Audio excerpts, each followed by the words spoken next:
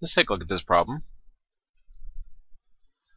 We've got 5 to the 5x minus 2 equals 1 over 25. Well, um, I can see I could rewrite the 25 as 5 squared, so let's start there. Again, I'm focusing on a larger number, even though it's in a fraction, I'm still focusing on a larger number. And that's close, but we can't have that down denominator. But we got a property that says we can take that and move it up on top. So we got 5 to the 5x minus 2 equals. Now remember, when you take anything opposite of where it's at in a fraction, the sign of the exponent changes. So this becomes 5 to the negative 2.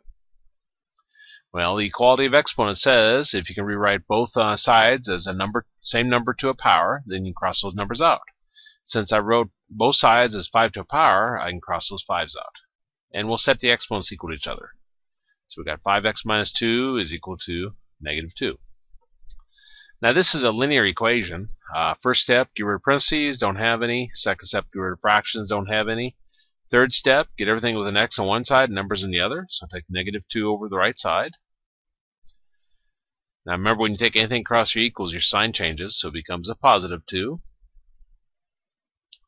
Combine together numbers in a step. Negative 2 plus 2 is 0.